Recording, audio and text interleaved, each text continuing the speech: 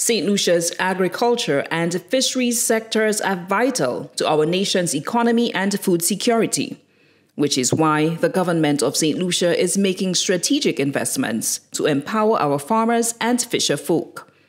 On June 7, 2024, the government of St. Lucia ended years of neglect for the Micoud North fishers with a brand new jetty. Additionally, a $22.9 million grant from Japan is revitalizing the Choiseul fishing port. To further support our fisher folk, a 2.5 per gallon fuel rebate has been introduced, along with eight new fish aggregating devices or FADs and tracking devices for 300 vessels, enhancing sustainability and safety at sea.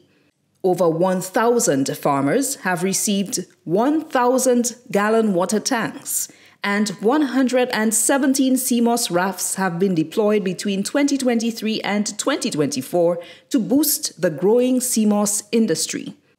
1 million in direct support has been provided to farmers who lost their bananas due to packaging shortages. 26.1 million has been invested in rainwater harvesting, soil conservation, and green agro processing facilities.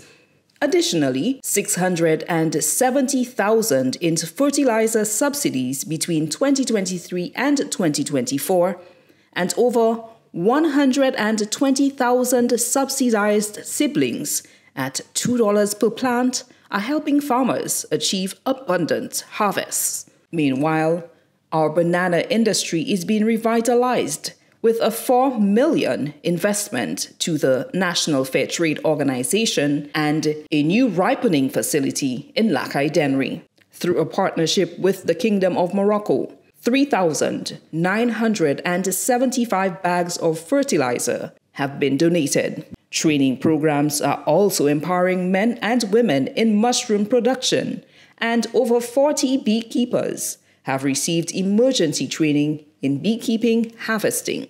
These initiatives represent more than just investments.